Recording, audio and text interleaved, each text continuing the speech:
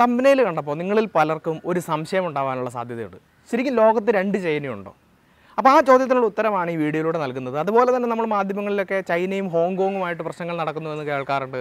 പിന്നെ ചൈനീസ് വിപ്ലവം ചൈനീസ് ആഭ്യന്തര കലാപം എന്നൊക്കെ പറഞ്ഞ ചില കാര്യങ്ങൾ നമ്മൾ പണ്ട് സ്കൂളിൽ പഠിച്ചിട്ടുണ്ട്. അപ്പോൾ ഈ കാര്യങ്ങളൊക്കെയാണ് ഇന്നത്തെ വീഡിയോയിലൂടെ വിശദീകരിച്ച് തരാൻ വേണ്ടി പോകുന്നത്. നിങ്ങൾക്ക് ചാനലും ചാനലിലെ വീഡിയോസും ഇഷ്ടമാകുന്നുണ്ടെങ്കിൽ ചാനൽ സബ്സ്ക്രൈബ് ചെയ്യുകയും ബെല്ലൈക്കൺ ഇനേബിൾ ചെയ്യുകയും ചെയ്യുക. My name is Alex what I do is explain welcome to Alexplain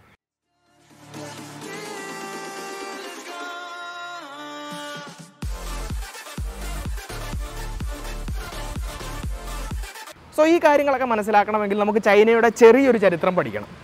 അപ്പോൾ ചൈനയും മറ്റ് രാജ്യങ്ങളും തമ്മിലുള്ള ഏറ്റവും പ്രധാനപ്പെട്ട വ്യത്യാസം എന്തായിരുന്നു എന്ന് ചോദിച്ചു കഴിഞ്ഞാൽ ഏഷ്യയിലെ പ്രധാനപ്പെട്ട രാജ്യങ്ങളൊക്കെ ഏതെങ്കിലുമൊക്കെ ഒരു യൂറോപ്യൻ രാജ്യത്തിന്റെ കോളനിയായിരുന്നു. ഇപ്പോൾ ഇന്ത്യ കോളനിയായിരുന്നു പാകിസ്ഥാൻ കോളനിയായിരുന്നു ശ്രീലങ്ക അതുപോലെ സൗത്ത് ഈസ്റ്റ് ഏഷ്യൻ രാജ്യങ്ങളൊക്കെ ഏതെങ്കിലുമൊക്കെ രാജ്യങ്ങളുടെ കോളനികളായിരുന്നു. എന്നാൽ നമ്മുടെ ചൈന ഒരു യൂറോപ്യൻ രാജ്യത്തിന്റെ നേരിട്ടുള്ള ഒരു കോളനി ആയിരുന്നില്ല. ചൈനയിൽ വിദേശ രാജ്യങ്ങൾ സ്വീകരിച്ചിരുന്ന ഒരു നിലപാടെന്ന് പറയുന്നതിനെയാണ് ഓപ്പൺ ഡോർ പോളിസി അല്ലെങ്കിൽ തുറന്ന വാതിൽ നയം എന്ന് പറയുന്നത്. എന്താണെന്ന് ചോദിച്ചു കഴിഞ്ഞാൽ ചൈന ഒരു വിദേശ രാജ്യത്തിന്റെയും ഡയറക്റ്റ് കൺട്രോളിന്റെ കീഴിൽ വരില്ല. എല്ലാ വിദേശ രാജ്യങ്ങൾക്കും ചൈനയിൽ ഒരേപോലെയുള്ള കൺട്രോളായിരിക്കും ഉണ്ടായിരിക്കുക. അതെങ്ങനെയാണെന്ന് ചോദിച്ചാൽ ചൈനയിലുള്ള വ്യാപാരവുമായി ബന്ധപ്പെട്ടിട്ടും ചൈനയിൽ നിന്നുള്ള ഇറക്കുമതി കയറ്റുമതിയൊക്കെ ആയിട്ട് ബന്ധപ്പെട്ടിട്ടും എല്ലാ യൂറോപ്യൻ രാജ്യങ്ങൾക്കും ചൈനയിൽ ഒരേപോലെയുള്ള അവകാശമായിരിക്കും ഉണ്ടായിരിക്കുക. ഇനി ചൈനയിലെ ഏതെങ്കിലും ഭാഗങ്ങൾ ഒരു യൂറോപ്യൻ രാജ്യത്തിന്റെ കോളനി ആയിരുന്നു എന്ന് പറയണമെങ്കിൽ പ്രധാനമായിട്ട് രണ്ട് ഭാഗങ്ങളെയാണ് നമുക്ക് അങ്ങനെ പറയാൻ സാധിക്കുക. ഒന്ന് മക്കാവു എന്ന് പറയുന്ന പ്രദേശം. അത് ഏകദേശം ആയിരത്തി അഞ്ഞൂറുകളിൽ പോർച്ചുഗീസ് അധീനതയിൽ വന്നിട്ടുണ്ട്. അതുപോലെ തന്നെ ഹോങ്കോങ് എന്ന് പറഞ്ഞിട്ടുള്ള പ്രദേശം. ചൈനയും വിദേശ രാജ്യങ്ങളും തമ്മിൽ നടന്നിട്ടുള്ള പ്രധാനപ്പെട്ട ഒരു യുദ്ധമാണ് കറുപ്പ് യുദ്ധം എന്ന് പറയുന്നത് അല്ലെങ്കിൽ ഒപ്പിയം വാർ എന്ന് പറയും. ഈ ഒപ്പിയം വാറിന്റെ ഭാഗമായിട്ട് ഹോങ്കോങ് എന്ന് പറഞ്ഞിട്ടുള്ള പ്രദേശം ബ്രിട്ടീഷ് കൺട്രോളിലേക്ക് പോവുകയും ചെയ്തു. ഇങ്ങനെ രണ്ട് പ്രദേശങ്ങളാണ് പ്രധാനമായിട്ടും വിദേശ രാജ്യങ്ങളുടെ കൺട്രോളിൽ ഉണ്ടായിരുന്നത്. ബാക്കി പ്രധാനപ്പെട്ട ചൈന മുഴുവൻ ചൈനീസ് രാജവംശത്തിന്റെ കീഴിലായിരുന്നു. ഒരു ആയിരത്തി തൊള്ളായിരം എന്ന് പറഞ്ഞിട്ടുള്ള ഒരു സമയമൊക്കെ നോക്കുകയാണെങ്കിൽ ക്വിങ് ഡൈനാസ്റ്റി ചില സ്ഥലങ്ങളിൽ തന്നെ ചിങ് ഡൈനാസ്റ്റി എന്ന് വിളിക്കും ചില സ്ഥലങ്ങളിൽ മാഞ്ചു ഡൈനാസ്റ്റി എന്ന് വിളിക്കും. ഏതായാലും കുഴപ്പമില്ല. ആ ഒരു ഡൈനാസ്റ്റിയുടെ കീഴിലായിരുന്നു ചൈന എന്ന് പറഞ്ഞിട്ടുള്ള രാജ്യം മുഴുവൻ ഉണ്ടായിരുന്നത്. പക്ഷേ ഈ രാജാവിന്റെ പ്രത്യേകത എന്തായിരുന്നു എന്ന് ചോദിച്ചു കഴിഞ്ഞാൽ ഈ രാജാവ് വിദേശ രാജ്യങ്ങൾക്ക് അടിയറവ് പറഞ്ഞതുപോലെയായിരുന്നു. കാരണം വിദേശ രാജ്യങ്ങൾക്ക് വേണ്ടിയിട്ടുള്ള അല്ലെങ്കിൽ അവരെ സഹായിക്കുന്നതിന് വേണ്ടിയിട്ടുള്ള നയങ്ങളായിരുന്നു ഈ രാജാവ് സ്വീകരിച്ചുകൊണ്ടിരുന്നത്. സ്വന്തം രാജ്യത്തെ ജനങ്ങൾക്ക് ബെനിഫിറ്റ് ഉണ്ടാകുന്ന രീതിയിലുള്ള നയങ്ങളൊന്നും ഈ രാജാവ് സ്വീകരിച്ചിട്ടില്ലായിരുന്നു. അതുകൊണ്ട് തന്നെ ചൈനയിൽ ജീവിക്കുന്ന ജനങ്ങൾക്ക് രാജാവിനെതിരെ നല്ല രീതിയിലുള്ള എതിർപ്പുണ്ടായിരുന്നു. പണ്ട് കാലങ്ങളിൽ അവർ രാജാവിനെതിരെ നല്ല രീതിയിലുള്ള പ്രക്ഷോഭങ്ങൾ നടത്തിയിട്ടുണ്ട്. അതിനാണ് ബോക്സർ റെബലിയൻ എന്നൊക്കെ പറയുന്നത്. പക്ഷേ ഈ ബോക്സർ റെബലിയൻ ഒക്കെ വിദേശ രാജ്യങ്ങളുടെ സഹായത്തോടു കൂടി അടിച്ചമർത്താൻ അവിടുത്തെ രാജാവിന് സാധിച്ചിട്ടുണ്ട്. എന്നാൽ ആയിരത്തി തൊള്ളായിരത്തി പതിനൊന്നിൽ ഡോക്ടർ സണ്യാറ്റ്സൺ എന്ന് പറഞ്ഞിട്ടുള്ള ഒരു നേതാവ് ചൈനയിലേക്ക് കടന്നു വരികയും വിദേശ വിദ്യാഭ്യാസമൊക്കെ ലഭിച്ച ഒരു ചൈനീസ് പൗരനാണ് അദ്ദേഹം. അദ്ദേഹം ചൈനയിലേക്ക് വരികയും ചൈനയിലെ രാജാവിന്റെ ജനറലായിരുന്ന യുവാൻ ഷിക്കായിയോടൊപ്പം അദ്ദേഹം പങ്കുചേരുകയും അങ്ങനെ ആയിരത്തി തൊള്ളായിരത്തി പതിനൊന്നിൽ ചൈനയിൽ റവല്യൂഷൻ നടക്കുകയുമാണ് ചെയ്യുന്നത്. ഇതിനെയാണ് നമ്മൾ ചൈനീസ് വിപ്ലവം അല്ലെങ്കിൽ ചൈനീസ് റെവല്യൂഷൻ എന്ന് പറയുന്നത്. ഈ വിപ്ലവവും മറ്റു വിപ്ലവവും തമ്മിലുള്ള വ്യത്യാസം എന്താണെന്ന് ചോദിച്ചു കഴിഞ്ഞാൽ ഈ ആയിരത്തി തൊള്ളായിരത്തി പതിനൊന്നിലെ വിപ്ലവത്തിൽ ചൈനയുടെ രാജാവിന്റെ ആർമിയും ഈ വിപ്ലവകാരികളുടെ കൂടെയായിരുന്നു. ഞാൻ ഓൾറെഡി പറഞ്ഞു ഡോക്ടർ സന്യാട്സൻ ആണ് വിപ്ലവത്തിന് നേതൃത്വം നൽകിയത്. അദ്ദേഹത്തിനോടൊപ്പം യുവാൻ ഷിക്കായി എന്ന് പറഞ്ഞിട്ടുള്ള ആർമി ജനറലും ഉണ്ടായിരുന്നു എന്ന് പറഞ്ഞു. അപ്പോൾ ഈ കാരണം കൊണ്ട് തന്നെ ആർമിയും ഇവരോടൊപ്പം തന്നെ വിപ്ലവത്തിൽ പങ്കുചേരുകയും രാജാവിന് മറ്റു വഴികളില്ല എന്ന് മനസ്സിലാക്കിക്കൊണ്ട് തന്നെ രാജഭരണം അവസാനിപ്പിക്കേണ്ടതായിട്ടും വന്നു. അങ്ങനെ കഴിഞ്ഞ രണ്ടായിരം വർഷമായിട്ട് ചൈനയിൽ പിന്തുടർന്ന് വന്നിട്ടുള്ള രാജഭരണം അവസാനിക്കുകയും ഭരണം ജനങ്ങളുടെ കയ്യിൽ എത്തിപ്പെടുകയും ചെയ്തു. ഇതിനെയാണ് ആയിരത്തി തൊള്ളായിരത്തി പതിനൊന്നിലെ ചൈനീസ് വിപ്ലവം എന്ന് പറയുന്നത്. പക്ഷേ ഈ വിപ്ലവത്തിന് ശേഷം ഒരു പ്രൊവിൻഷ്യൽ ഗവൺമെന്റാണ് രൂപീകരിക്കുന്നത്. ഡോക്ടർ സണ്ണി അച്ഛൻ ആ ഗവൺമെന്റിന്റെ പ്രസിഡന്റായിട്ട് വരുന്നു. അതിനുശേഷം ആയിരത്തി തൊള്ളായിരത്തി പന്ത്രണ്ടിൽ ചൈനയിൽ ആദ്യത്തെ ഇലക്ഷൻ നടക്കുകയാണ്. ഈ ഇലക്ഷന് ശേഷവും ഡോക്ടർ സണ്യാറ്റ്സന്റെ നേതൃത്വത്തിലുള്ള കുൺമിങ് താങ് പാർട്ടി അല്ലെങ്കിൽ കുവോ മിങ് താങ് എന്നൊക്കെ പറയാറുണ്ട് ഈ പാർട്ടിക്ക് ഒരുപാട് സീറ്റ് കിട്ടി പക്ഷേ അവർക്ക് മെജോറിറ്റിയിൽ എത്താൻ സാധിച്ചില്ല. അങ്ങനെ സണ്യാറ്റ്സനും യുവാൻ ഷിക്കായും തമ്മിൽ ചില പ്രശ്നങ്ങൾ ഉടലെടുക്കുകയാണ്. അപ്പോൾ ഞാൻ പറഞ്ഞു യുവാൻ ഷിക്കായുടെ കയ്യിലാണ് ആർമി മുഴുവനുള്ളത്. അപ്പോൾ ആ അധികാരം ഉപയോഗിച്ചുകൊണ്ട് യുവാൻ ഷിക്കായി വീണ്ടും ചൈനയുടെ ഒരു ഏകാധിപതിയായി മാറുന്നു. ചൈന ഒരു റിപ്പബ്ലിക്കായി മാറി ആയിരത്തി തൊള്ളായിരത്തി പതിനൊന്നിൽ എങ്കിലും റിപ്പബ്ലിക് ഓഫ് ചൈന എന്നാണ് ചൈന അറിയപ്പെടുന്നത് എങ്കിലും യുവാൻ ഷിക്കായുടെ നേതൃത്വത്തിൽ വീണ്ടും ഒരു ഏകാധിപത്യത്തിലേക്ക് ചൈന പോവുകയാണ്. പക്ഷേ അത് അധികകാലം നീണ്ടു നിൽക്കുന്നില്ല. ആയിരത്തി തൊള്ളായിരത്തി പതിനാറിൽ യുവാൻ ഷിക്കായി അന്തരിക്കുകയും വീണ്ടും ഡോക്ടർ സണ്ണി അറ്റ്സൻ ചൈനയുടെ നേതാവായിട്ട് വരികയും ചെയ്യുന്നു.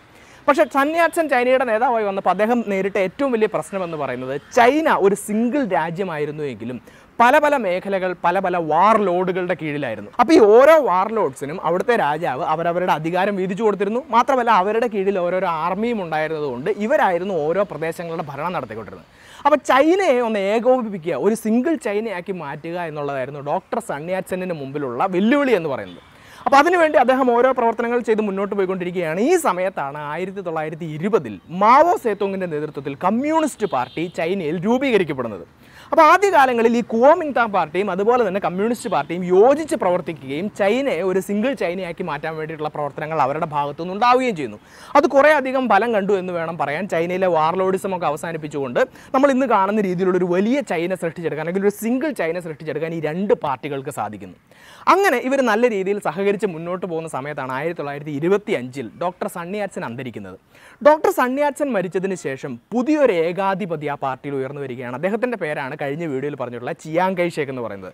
അതിനെ ചാങ്കായ് ഷേക്ക് എന്ന് പറയാറുണ്ട് ചിയാങ്കായ് ഷേക്ക് എന്ന് പറയാറുണ്ട്. ചിയാങ്കായ് ഷേക്ക് എന്നാണ് പൊതുവെ കണ്ടിട്ടുള്ള ഒരു പ്രൊണൗൺസിയേഷൻ അപ്പോൾ ഈ ചിയാങ്കായ് ഷേക്കിന്റെ പ്രത്യേകത എന്തായിരുന്നു ചോദിച്ചു കഴിഞ്ഞാൽ അദ്ദേഹം നമ്മുടെ യുവാൻ ഷിക്കായിയെ പോലെയോ അല്ലെങ്കിൽ പഴയ രാജാക്കന്മാരെ പോലെയോ ഒരു ഏകാധിപതിയായിരുന്നു. എല്ലാ ഭരണവും തന്റെ കീഴിൽ വരണമെന്ന് ആഗ്രഹിക്കുന്ന ഒരാളായിരുന്നു.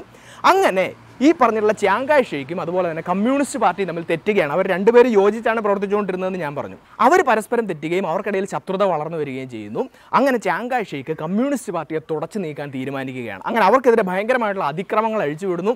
ഇതിന്റെ ഭാഗമായിട്ടാണ് ചൈനയുടെ സദേൺ ഭാഗത്ത് നിന്ന് നോർത്തേൺ ഭാഗത്തേക്ക് രക്ഷപ്പെട്ടുകൊണ്ടുള്ള അവരുടെ യാത്രയായിട്ടുള്ള ലോങ് മാർച്ച് നടക്കുന്നത്. എന്താണ് ലോങ് മാർച്ച് എന്ന് കഴിഞ്ഞ വീഡിയോയിൽ ഞാൻ പറഞ്ഞിരുന്നു. അപ്പോൾ ഈ ലോങ് മാർച്ചിന്റെ ഭാഗമായിട്ട് മാവോ സേത്തോങ്ങിന്റെ അധികാര പാടവം എല്ലാവരും തിരിച്ചറിയുകയും മാത്രമല്ല കമ്മ്യൂണിസ്റ്റ് പാർട്ടിക്ക് ചൈനയിൽ വളരെ വലിയൊരു വേരുണ്ടാക്കിയെടുക്കാൻ സാധിക്കുകയും ചെയ്യുന്നു. അങ്ങനെ ഈ ലോങ് മാർച്ച് അവസാനിക്കുകയാണ്. കമ്മ്യൂണിസ്റ്റ് പാർട്ടിയും കുവോമിങ്താങ് പാർട്ടിയും തമ്മിലുള്ള പ്രശ്നങ്ങൾ ഉടലെടുക്കുന്നതോടുകൂടി തന്നെ അവിടെ ചൈനയിൽ ആഭ്യന്തര കലാപം അല്ലെങ്കിൽ ചൈനീസ് സിവിൽ വാർ ആരംഭിക്കുകയാണ്. എന്നാൽ രണ്ടാം ലോക മഹായുദ്ധത്തിന് മുന്നോടിയായിട്ട് ജപ്പാന്റെ അഗ്രഷൻ നടക്കുന്നു. പിന്നീട് രണ്ടാം ലോക മഹായുദ്ധത്തിന്റെ ഭാഗമായിട്ട് തന്നെ ചൈനയും ജപ്പാനും തമ്മിൽ ഒരുപാട് യുദ്ധങ്ങളും കാര്യങ്ങളും നടക്കുന്നുണ്ട്. അപ്പോൾ ഈ യുദ്ധങ്ങളുടെ ഭാഗമായിട്ട് ആഭ്യന്തര കലാപം താൽക്കാലികമായി നിർത്തിവെക്കപ്പെടുകയും എല്ലാവരും ജപ്പാനെ പരാജയപ്പെടുത്തുന്നതിന് വേണ്ടിയിട്ടുള്ള യുദ്ധത്തിൽ കോൺസെൻട്രേറ്റ് ചെയ്യുകയും ചെയ്യുന്നു. അങ്ങനെ രണ്ടാം ലോക മഹായുദ്ധം നടക്കുകയാണ്. രണ്ടാം ലോക മഹായുദ്ധം അവസാനിച്ച് കഴിഞ്ഞപ്പോൾ ജപ്പാനെ പരാജയപ്പെടുത്താൻ സാധിക്കുന്നു. അപ്പോൾ രണ്ടാം ലോക മഹായുദ്ധത്തിന്റെ വീഡിയോയിൽ എല്ലാവരും ചോദിച്ചൊരു ചോദ്യമാണ് എങ്ങനെയാണ് ചൈനയ്ക്ക് വീറ്റോ പവറോടുകൂടി രക്ഷാസമിതിയിൽ അംഗത്വം കിട്ടിയത് എന്ന്? നമുക്കറിയാം ഇറ്റലിക്കും ജർമ്മനിക്കും ശേഷം ആക്സിസ് പവേഴ്സിലെ ഏറ്റവും ശക്തമായിട്ടുള്ള രാജ്യം ജപ്പാനായിരുന്നു. ഈ ജപ്പാന്റെ അഗ്രഷൻ ഏറ്റവും കൂടുതൽ നേരിടേണ്ടി വന്ന രാജ്യം എന്ന് പറയുന്നത് ചൈനയാണ്. അതുകൊണ്ട് തന്നെ രണ്ടാം ലോക മഹായുദ്ധത്തിൽ ചൈന നമ്മുടെ അലൈഡ് പവേഴ്സിന്റെ ഭാഗമായിട്ട് ബ്രിട്ടൻ ഫ്രാൻസ് റഷ്യ അമേരിക്ക പോലെയുള്ള അലൈഡ് പവേഴ്സിന്റെ ഭാഗമായിട്ട് ചൈനയും യുദ്ധം ചെയ്യുന്നുണ്ടായിരുന്നു. അങ്ങനെ അവരും അലൈഡ് പവേഴ്സിന്റെ ഭാഗമായിരുന്നത് കൊണ്ടാണ് രണ്ടാം ലോക മഹായുദ്ധത്തിന് ശേഷം അവർക്ക് യു എൻ രക്ഷാസമിതിയിൽ വീറ്റോ പവറോടുകൂടി സ്ഥിരാംഗത്വം ലഭിക്കുന്നത്. പക്ഷെ ഒരു കാര്യം മനസ്സിലാക്കുക ഇപ്പോഴൊക്കെ നമ്മൾ സംസാരിക്കുന്ന ചൈന എന്ന് പറയുന്ന ചൈനയുടെ പേര് എന്ന് പറയുന്നത് ആർ ഒ സി എന്നാണ് റിപ്പബ്ലിക് ഓഫ് ചൈന എന്നാണ് ഈ രാജ്യത്തിന്റെ പേര്. ഇനി രണ്ടാം ലോക മഹായുദ്ധത്തിന് ശേഷം എന്ത് സംഭവിച്ചു എന്ന് ചോദിച്ചു കഴിഞ്ഞാൽ രണ്ടാം ലോക മഹായുദ്ധത്തോടു കൂടി കമ്മ്യൂണിസ്റ്റ് പാർട്ടിക്ക് ചൈനയിൽ നല്ല വേരുകൾ ഉണ്ടാവുന്നു. അവർ ആഭ്യന്തര കലാപം പുനരാരംഭിക്കുകയും ചെയ്യുന്നു. ആയിരത്തി തൊള്ളായിരത്തി നാൽപ്പത്തി ഒൻപതോടു കൂടി ചിയാങ്കൈ ഷേക്കിന്റെ നേതൃത്വത്തിലുള്ള കുവോമിൻതാം പാർട്ടിയെ ചൈനയിൽ നിന്ന് പുറത്താക്കാൻ ഇവർക്ക് സാധിക്കുകയും കമ്മ്യൂണിസ്റ്റുകാരെ അധികാരം പിടിച്ചടക്കുകയും ചെയ്യുന്നു. അപ്പോൾ ഇതിനെയാണ് ചൈനീസ് ആഭ്യന്തര കലാപം സിവിൽ വാർ അല്ലെങ്കിൽ ചൈനീസ് കമ്മ്യൂണിസ്റ്റ് റവല്യൂഷൻ എന്നും ചില സ്ഥലങ്ങളിൽ പറയാറുണ്ട്. അങ്ങനെ ഒരു പുതിയ രാജ്യം സ്ഥാപിക്കുകയാണ്. അപ്പോൾ കുവോമിൻതാം പാർട്ടി എന്ത് ചെയ്തു? അല്ലെങ്കിൽ റിപ്പബ്ലിക് ഓഫ് ചൈന എന്ത് ചെയ്തു എന്ന് ചോദിച്ചു കഴിഞ്ഞാൽ ചൈനയുടെ തൊട്ട് താഴെയുള്ള മറ്റൊരു ഐലൻഡ് ഉണ്ട്. അതിനെയാണ് തായ്വാൻ എന്ന് പറയുന്നത്. ഭൂപടത്തിൽ നോക്കിയാൽ നമുക്ക് കാണാം. ഈ തായ്വാനിലേക്ക് അവർ റിട്രീറ്റ് ചെയ്യുകയും തായ്വാനിൽ ഇരുന്നുകൊണ്ട് ഞങ്ങളാണ് യഥാർത്ഥ ചൈന എന്ന് പറഞ്ഞിട്ട് തായ്വാനെ റിപ്പബ്ലിക് ഓഫ് ചൈന എന്ന പേര് നൽകി അവർ ഭരണം ആരംഭിക്കുകയും ചെയ്തു. അതേസമയം നമ്മുടെ മെയിൻ ലാൻഡ് ചൈന നമ്മുടെ മെയിൻ ചൈന കമ്മ്യൂണിസ്റ്റുകാർ അവിടെ അധികാരം പിടിച്ചെടുക്കുകയും അവരവിടെ ഒരു പുതിയ രാജ്യം സ്ഥാപിക്കുകയും ചെയ്യുന്നു. ആ രാജ്യത്തിന്റെ പേരാണ് പീപ്പിൾസ് റിപ്പബ്ലിക് ഓഫ് ചൈന അപ്പോൾ നോക്കൂ ശരിക്കും രണ്ട് ചൈനയാണ് ഇപ്പോൾ പിക്ചറിലുള്ളത് മെയിൻലാൻഡ് ചൈനയിൽ മാവോ സേത്തുങ്ങിന്റെ നേതൃത്വത്തിൽ കമ്മ്യൂണിസ്റ്റ് പാർട്ടിയുടെ നേതൃത്വത്തിൽ പീപ്പിൾസ് റിപ്പബ്ലിക് ഓഫ് ചൈനയും അതുപോലെ തന്നെ തായ്വാൻ എന്ന് പറഞ്ഞിട്ടുള്ള പ്രദേശത്ത് കുവോമിങ്താങ് പാർട്ടിയുടെ നേതൃത്വത്തിലുള്ള റിപ്പബ്ലിക് ഓഫ് ചൈനയും ഉണ്ട്. അപ്പോൾ നമ്മുടെ യൂറോപ്യൻ പവേഴ്സൊക്കെ നോക്കിക്കഴിഞ്ഞപ്പോൾ പീപ്പിൾസ് റിപ്പബ്ലിക് ഓഫ് ചൈന എന്ന് പറയുന്ന ഒരു കമ്മ്യൂണിസ്റ്റ് രാജ്യമാണ്. അതുകൊണ്ട് തന്നെ ആയിരത്തി തൊള്ളായിരത്തി എഴുപത്തി ഒന്ന് വരെ ഐക്യരാഷ്ട്ര സംഘടന പീപ്പിൾസ് റിപ്പബ്ലിക് ഓഫ് ചൈനയെ അംഗീകരിച്ചിട്ടില്ല. അവരുടെ കാഴ്ചപ്പാടിൽ തായ്വാനിലിരുന്ന് ഭരിക്കുന്ന റിപ്പബ്ലിക് ഓഫ് ചൈന തന്നെയായിരുന്നു യഥാർത്ഥ ചൈന പക്ഷേ ആയിരത്തി തൊള്ളായിരത്തി എഴുപത്തി ഒന്നൊക്കെ ആയപ്പോഴത്തേക്കും എല്ലാവർക്കും കാര്യങ്ങൾ മനസ്സിലായി. മെയിൻലാൻഡിൽ ഇരുന്ന് ഭരിക്കുന്ന ആളുകൾക്കാണ് യഥാർത്ഥമായിട്ടുള്ള അധികാരവും കാര്യങ്ങളും ഒക്കെ ഉള്ളത് എന്ന് ഐക്യരാഷ്ട്ര സംഘടനയ്ക്ക് മനസ്സിലാവുകയും മറ്റെല്ലാ രാജ്യങ്ങളും റിപ്പബ്ലിക് ഓഫ് ചൈനയെ മാറ്റി നിർത്തിയിട്ട് പീപ്പിൾസ് റിപ്പബ്ലിക് ഓഫ് ചൈനയെ അംഗീകരിക്കുകയുമാണ് ചെയ്തത്. അങ്ങനെയാണ് നമ്മൾ ഇന്ന് കാണുന്ന പി ആർ സി നമ്മൾ ഇന്ന് കാണുന്ന മെയിൻലാൻഡ് ചൈന എന്ന് പറഞ്ഞിട്ടുള്ള ചൈന രക്ഷാസമിതിയിലും ബാക്കി കാര്യങ്ങളിലും എല്ലാം എത്തുകയും ചൈന മെയിനായി മാറുകയും ചെയ്യുന്നത്. അപ്പോൾ ഇങ്ങനെയാണ് ലോകത്തെ രണ്ട് ചൈനകൾ ഉണ്ടാവുന്നതെന്ന് മനസ്സിലാക്കുക ഇപ്പോഴും ചൈനീസ് തായ്പേ അല്ലെങ്കിൽ തായ്വാൻ റിപ്പബ്ലിക് ഓഫ് ചൈന ഈ ഏത് പേരുകളിലും അറിയപ്പെടുന്ന ആ ഒരു ഗവൺമെന്റ് ഇപ്പോഴും തായ്വാൻ എന്ന് പറഞ്ഞിട്ടുള്ള പ്രദേശത്ത് ഭരിക്കുന്നുണ്ട്. പക്ഷേ പത്തോ പതിനാലോ രാജ്യങ്ങൾ മാത്രമാണ് ഡിപ്ലോമാറ്റിക് ആയിട്ടുള്ള റിലേഷൻഷിപ്പ് ഈ രാജ്യവുമായിട്ട് മെയിന്റെയിൻ ചെയ്യുന്നത്. ബാക്കി എല്ലാ അർത്ഥത്തിലും ചൈന എന്ന് പറഞ്ഞു കഴിഞ്ഞാൽ മെയിൻ ലാൻഡ് ചൈന തന്നെയാണ് എന്നുള്ള കാര്യം മനസ്സിലാക്കാം. ആ ഒരു കഥ നിങ്ങൾക്ക് മനസ്സിലാക്കാൻ സാധിച്ചിട്ടുണ്ടാവുമെന്ന് വിചാരിക്കുന്നു. ഇനി ഞാൻ വീഡിയോയുടെ ആദ്യം പറഞ്ഞിരുന്നു ചൈന മൊത്തത്തിലൊരു വിദേശ രാജ്യത്തിന്റെയും കോളനി ആയിരുന്നില്ല എന്നാൽ ചൈനയുടെ രണ്ട് ഭാഗങ്ങൾ മക്കാവു എന്ന് പറയുന്ന ഭാഗം പോർച്ചുഗീസിന്റെ കൺട്രോളിന്റെ കീഴിലും ഹോങ്കോങ് എന്ന് പറയുന്ന ഭാഗം ബ്രിട്ടന്റെ കൺട്രോളിന്റെ കീഴിലുമായിരുന്നു എന്ന് ഞാൻ പറഞ്ഞു. രണ്ടാം ലോക മഹായുദ്ധത്തിന് ശേഷവും കുറേ കാലം ഈ രണ്ട് സ്ഥലങ്ങളും കോളനികൾ തന്നെയായിരുന്നു. എന്നാൽ പിന്നീട് അവർക്ക് സ്വാതന്ത്ര്യം ലഭിക്കുകയാണ് ചെയ്യുന്നത്. ഇവർക്ക് സ്വാതന്ത്ര്യം ലഭിച്ചതോടുകൂടി ഇവർ ചൈനയുടെ ഭാഗമായി മാറുകയാണ്. മക്കാവും ഹോങ്കോങ്ങും ചൈനയുടെ ഭാഗമായി മാറുകയാണ്. പക്ഷേ പൂർണമായും അവർ ചൈനയുടെ ഭാഗമായി മാറാൻ തയ്യാറല്ലായിരുന്നു. അതുകൊണ്ട് ചൈന ഒരു പുതിയ സിസ്റ്റം ആരംഭിക്കുകയാണ്. ഇതിനാണ് വൺ നേഷൻ ടു സിസ്റ്റംസ് എന്ന് പറയുന്നത്. വൺ നേഷൻ ടു സിസ്റ്റം എന്ന് പറഞ്ഞു കഴിഞ്ഞാൽ ഈ മക്കാവും ഹോങ്കോങ്ങും China people's republic of China എന്ന് പറഞ്ഞിട്ടുള്ള രാജ്യത്തിന്റെ ഭാഗങ്ങൾ തന്നെയാണ്. പക്ഷേ അവരുടെ ഗവൺമെന്റ് വേറെ ആയിരിക്കും അഡ്മിനിസ്ട്രേഷൻ വേറെ ആയിരിക്കും എക്കണോമിക് സിസ്റ്റം വേറെ ആയിരിക്കും എല്ലാം ഡിഫറന്റ് ആയിരിക്കും. ഒരു രാജ്യത്തിന്റെ ഭാഗം എന്നാൽ രണ്ട് വ്യത്യസ്ത അഡ്മിനിസ്ട്രേറ്റീവ് സിസ്റ്റങ്ങൾ ചൈനയുടെ സ്പെഷ്യൽ അഡ്മിനിസ്ട്രേഷൻ റീജിയൻസ് എന്നാണ് മക്കാവും ഹോങ്കോങ്ങും അറിയപ്പെടുന്നത്. അപ്പോൾ ഇതിന്റെ ഭാഗമായിട്ട് ഹോങ്കോങ് എന്ന് പറഞ്ഞു കഴിഞ്ഞാൽ മറ്റൊരു രാജ്യം പോലെ തന്നെയാണ്. എന്നാൽ ചൈനയുടെ ഭാഗമാണ് എന്നുള്ള രീതിയിലാണ് മക്കാവും ഹോങ്കോങ്ങും വർക്ക് ചെയ്യുന്നത്. ഈ ഹോങ്കോങ്ങിന്റെ മേലെ തങ്ങളുടെ അധികാരം വർദ്ധിപ്പിക്കാൻ വേണ്ടി കഴിഞ്ഞ വർഷങ്ങളിൽ ചൈന ശ്രമിച്ചിരുന്നു. അപ്പോൾ അതിന്റെ ഭാഗമായിട്ടാണ് ഹോങ്കോങ്ങിലൊക്കെ പ്രക്ഷോഭങ്ങൾ ഉണ്ടായിരുന്നത് എന്ന് നമുക്ക് കാണാൻ കഴിയും. അപ്പോൾ ഇത്തരത്തിൽ വളരെയധികം കുഴഞ്ഞു മറിഞ്ഞ ഒരു ചരിത്രവും ഭരണ രീതിയുമാണ് ചൈനയ്ക്കുള്ളത് എന്ന് മനസ്സിലാക്കുക. അപ്പോൾ എന്തുകൊണ്ടാണ് ലോകത്ത് രണ്ട് ചൈനയുള്ളത്? ഇതിലേതാണ് യഥാർത്ഥ ചൈന?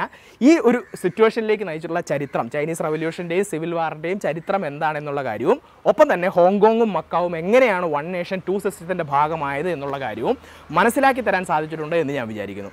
സോ നിങ്ങൾക്ക് കൂടുതലായിട്ട് എന്തെങ്കിലും അറിയാമെങ്കിൽ അത് കമന്റ് ബോക്സിൽ രേഖപ്പെടുത്തുക. നിങ്ങളുടെ അഭിപ്രായങ്ങളും നിർദ്ദേശങ്ങളും നിങ്ങൾ കമന്റ് ബോക്സിൽ രേഖപ്പെടുത്തുക. ഇതുപോലെയുള്ള നല്ല നല്ല വീഡിയോസുമായിട്ട് വീണ്ടും വരുന്നവരേക്കും നന്ദി.